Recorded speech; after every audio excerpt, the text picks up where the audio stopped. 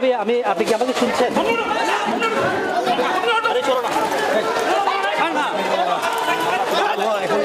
না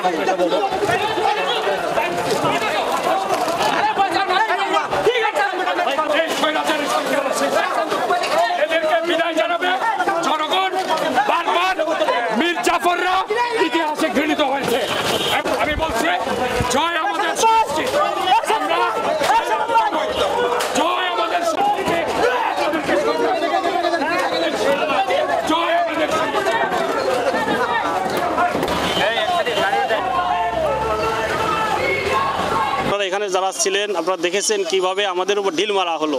এই পার্টি অফিসের ভিতর থেকে এবং এই বিভিন্ন বিল্ডিং থেকে তাদের লোকজন যেভাবে আমাদের পুলিশের উপর ঢিল ছুটছে তাতে আমার আট দশজন ইনজুর্ড তাদেরকে আমি হাসপাতালে পাঠিয়েছি। এই কারণে আমি তাদেরকে গ্রেপ্তার করেছি আমরা থানায় পাঠিয়েছি। কতজন? কতজন আটক আছে? আমরা গুনে দেখি নাই সাত আটজন বিএনপির নেতাকর্মী হলে ঢিল ইট পাটকেল ছুটিবার পরপরই পুলিশ কিন্তু গ্রেপ্তার অভিযান শুরু করে।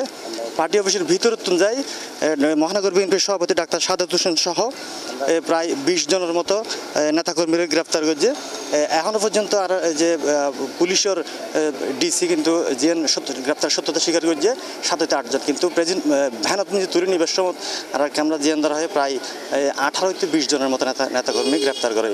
নসিম বাবুল সামনে তুন নাই Chowdhury Rasel C plus TV.